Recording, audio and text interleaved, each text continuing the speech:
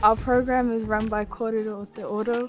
That program focuses on um, expanding our knowledge of our oceans as well as our land and connecting us to both.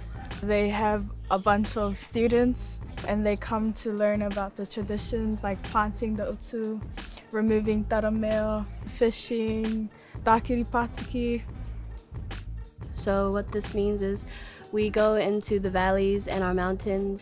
We see the ecosystems living there. We um, we're able to watch and see how animals up there live and we're, we're able to see different plants and different species that we wouldn't normally see here.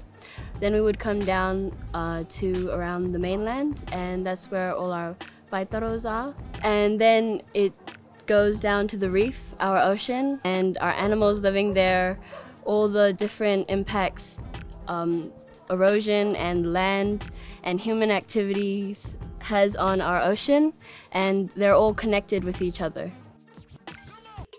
That's why I came to this program to get off the phone. No more being antisocial. Uh, something I want to do more of is uh, free diving. Because I'm not used to it, but once I did it once, I wanted to like do it again because it felt cool and it felt like I'm, I can like stay underwater for long and talk to the fish and then they're gonna be my friend and then that's why they're gonna call me Aquaman. I really enjoy it. We get to go scuba diving and now I'm a rescue diver. And the next one is a master diver and I can't wait to be a master diver. And also another thing is our teachings are mainly firsthand. it's always out there.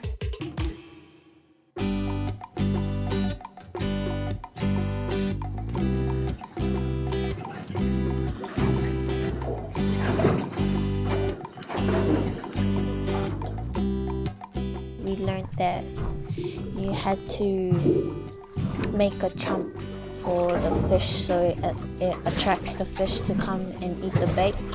So you had to wrap it into a leaf and then you grab a rock and then you wrap the line around the rock and also the bait. When I saw the fish, I was pretty excited to see a live fish being pulled out because that's my first time seeing a live fish being caught. And yeah, it's pretty cool. I like it because it's it's cool. It's it's nice being out in the ocean. I've been helping with the Operation Taramea to uh, remove as much as we can of the taramea that um, is destroying our coral reefs. When we look for taramea underwater, we look for bleached corals and white corals that have been eaten by the taramea. They usually signal where the taramea has been, so it will usually be around bleached corals. We remove the taramea by using a long stick with a hook on the end to pull it out which is can sometimes be difficult since it likes hiding in the cracks. It's also difficult because taramea stings are quite painful.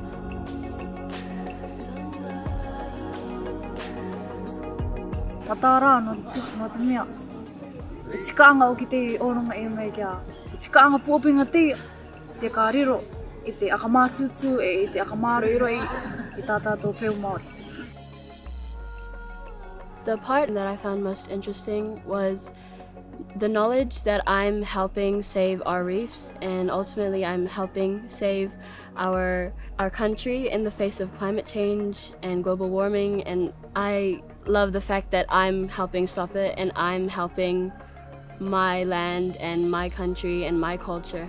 So for me, something that I found interesting in the project and something that I've learned well, I guess, is um, coral taxonomy. I know the genus names of most corals, and that's thanks to this project.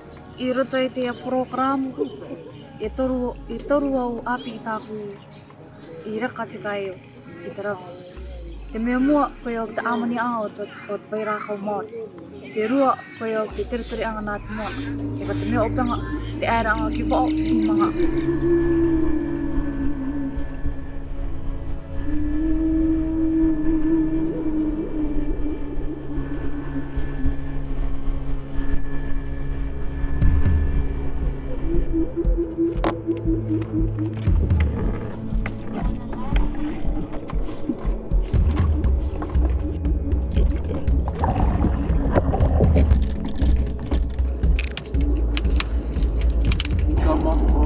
Übung at appendix.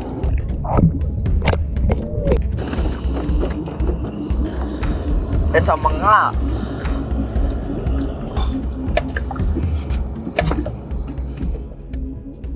As the knowledge is passed down to us, we absorb every bit of it, I guess, and as we grow older, we would pass down that knowledge to the younger generation again.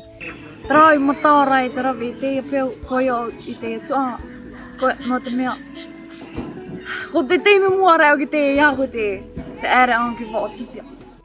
I learned titomo fishing from my papa, Papa Iro. I just put the bait in and don't chase the fish. You let the fish come to your bait, and it was pretty good. I caught some big pataki.